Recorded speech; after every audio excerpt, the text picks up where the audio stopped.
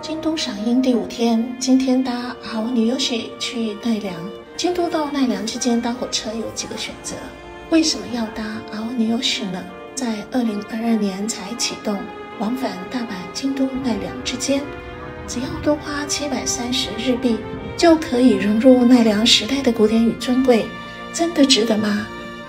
跟我走一趟就知道。阿温阿丸后青春事件簿。从皇家公园 Canvas 饭店的房间清楚看到二条车站，这个位置交通真方便。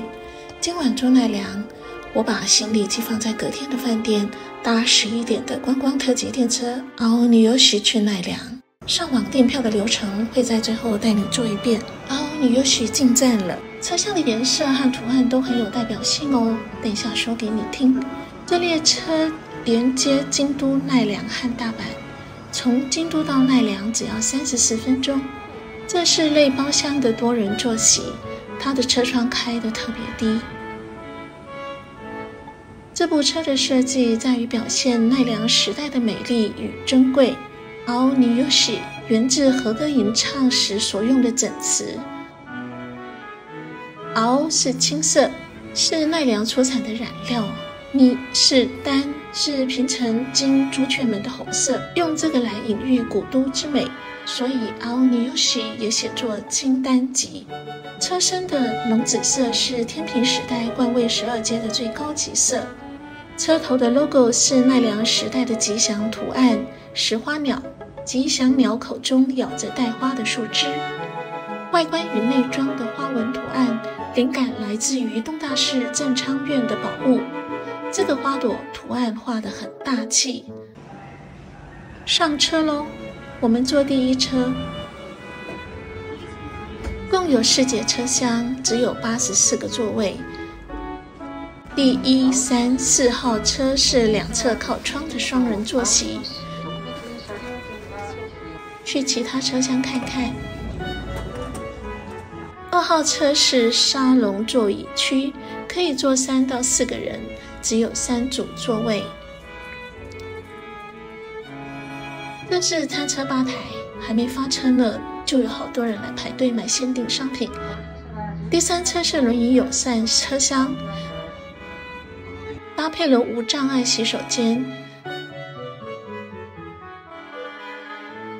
一般厕所看起来很雅致，有一种豪华饭店梳妆台的氛围。洗手台别有古意，那个陶瓷洗脸盆很漂亮，到处都是石花鸟的 logo。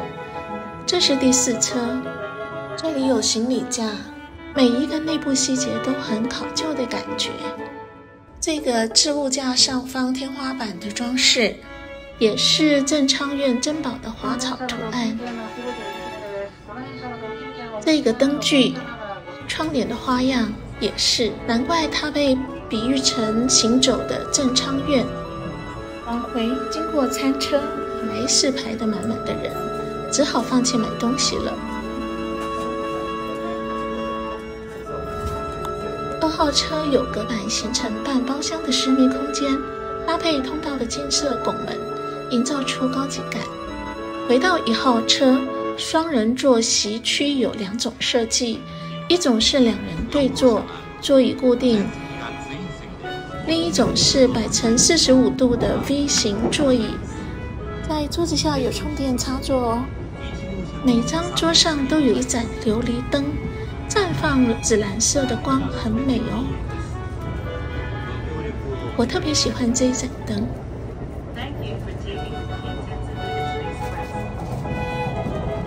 又来到餐车吧台，这个乘车证可以自由拿取。旁边的方盒原来是酒精喷雾器，连喷雾器都做得这么精致。这张红底精致的乘车证是很有意义的纪念哦。列车经过大河西大寺站之后，可以远远看见平城京公鸡。左边看的是平城公鸡历史公园。若右边看的是朱雀门，接下来是平城公子保存纪念碑。突然对一千三百年前的奈良有了感觉，蛮奇妙的。这是坐在车上看见世界遗产的概念吗？